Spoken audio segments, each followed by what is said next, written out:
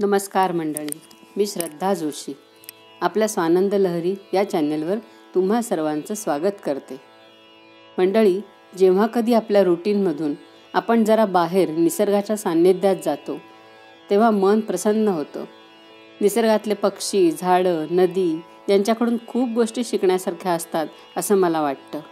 फक्त त्यासाठी थोडा शांतपणा मनाचा निवांतपणा हवा. आज तसंच काहीसं माझ्या कवितेत मी लिहिलं आहे नदीकाठचा परिसर शांत. नदीकाठचा परिसर शांत. जरा बसावे येथ निवांत. जरा बसावे येथ निवांत. हिरव्या रंगी नटली सृष्टी. हिरव्या रंगी नटली सृष्टी. भरुनी पावली माझी दृष्टी.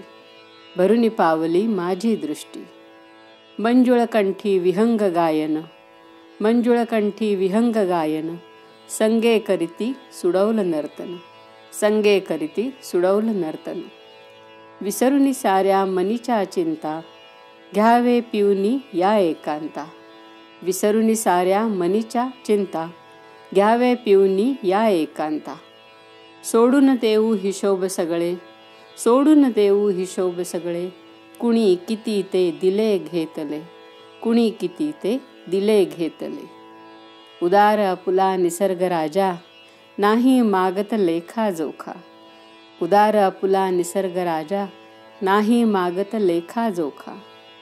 राई इतका कणमी येथला तरीही असे का गर्व मजला? राई इतका कणमी येथला तरीही असे का गर्व मजला? मनासा आता समजवावे मनासा आता समजवावे समाधान जरा शिकवावे. समाधान जरा शिकवावे. नको नको रे धाऊ सारखा. नको शांतीस होऊ पारखा. नको नको रे धाऊ सारखा. नको शांतीस होऊ पारखा. ओढ असे सागर मिलनाची. जरूर नसे पथ विचारण्याची. ओढ असे सागर मिलनाची. जरूर नसे पथ विचारण्याची.